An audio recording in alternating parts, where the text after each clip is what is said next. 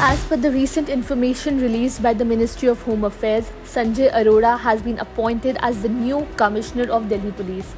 Sanjay Arora is all set to replace the incumbent Commissioner of Police, Delhi, Rakesh Asthana, who is all set to retire today. The Ministry of Home Affairs released a notice informing about the newly appointed Commissioner of Delhi Police, which also read that he would take charge from August 1, 2022 onwards.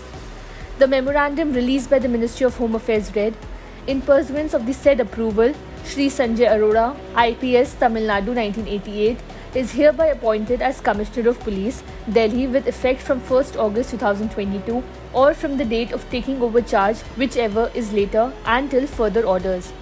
Sanjay Arora is a 1988 batch IPS officer from the Tamil Nadu cadre. He was appointed the Indo-Tibetan Border Police DG in August last year and he took the charge of the India China LAC guarding force on September 1st. Last year, he was given the additional charge of another border guarding force, Sashastra Seema Bal, as the latter's chief, Kumar Rajesh Chandra, retired on December 31st. The SSB is primarily tasked to guard unfenced Indian borders with Nepal and Bhutan.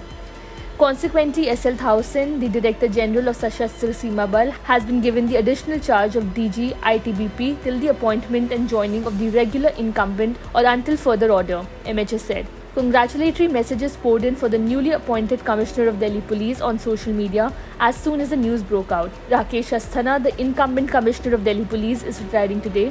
He was appointed as the Commissioner on July 21, 2021 and was a 1984 batch IPS officer of Gujarat cadre.